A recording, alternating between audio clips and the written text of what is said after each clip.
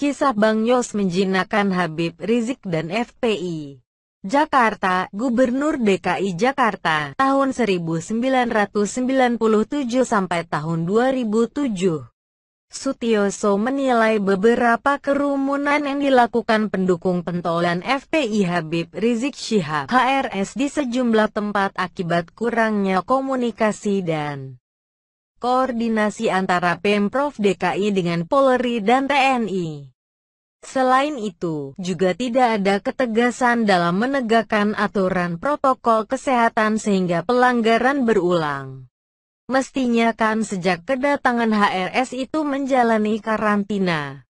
Tapi itu tidak dilakukan, kata Sutioso yang biasa disapa Bang Yos saat ditemui tim belak-belakan di kediamannya, Sabtu, tanggal 28 November tahun 2020. Bila sejak dini pihak-pihak terkait itu melakukan pendekatan ke para pengurus Front Pembela Islam FPI maupun pihak Rizik Syihab langsung kemungkinan pelanggaran protokol kesehatan tidak terjadi berulang. Bang Yos percaya, sekeras apa pun karakter HRS pada dasarnya dia tetap bisa diajak berbicara secara logis. Saat memimpin Jakarta selama 10 tahun, dia mengaku sering didemo kelompok FP pimpinan HRS. Tidak bisa dihitung dengan jari aksi demo FPI ke Balai Kota Kenang Bang Yos. Puncak aksi demo terjadi ketika mereka mengepung balai kota. Seorang pejabat Pemda DKI bahkan pernah menyarankan agar dia tidak ke kantor. Kantor kita diduduki FPI, Pak. Kantor kita sudah kayak salju peat putih semua, ujar Sutioso menirukan laporan stafnya. Mantan perwira tinggi Kopassus itu tentu tak ciut nyali. Dia tetap datang ke kantor dengan keyakinan Lempengan baja yang keras saja bisa dibengkokkan. Apalagi hati manusia seperti HRS. Dia pun langsung menemui HRS dan para pengurus FPI. Mereka sudah menyiapkan tuntutan tertulis untuk ditandatangani Sutioso sebagai gubernur. Intinya, mereka meminta agar gubernur menutup semua tempat hiburan dan restoran di Jakarta selama Ramadan.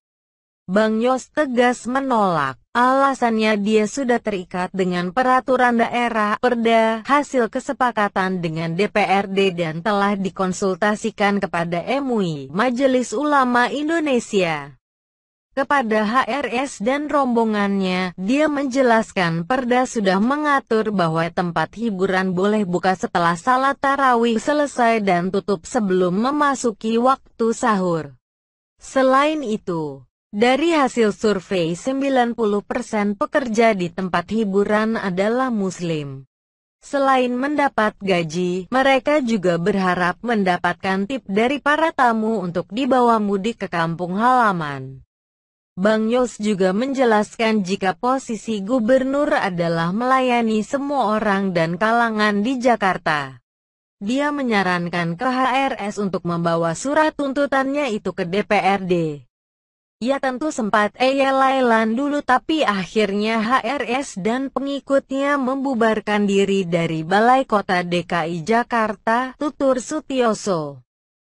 Dari pengalaman tersebut dia berasumsi sekeras apa pun HRS bisa diajak berbicara. Di tengah kondisi pandemi sekarang ini, Bang Yos percaya HRS pun dapat diajak bicara agar tidak lagi melakukan aktivitas yang mengundang kerumunan massa.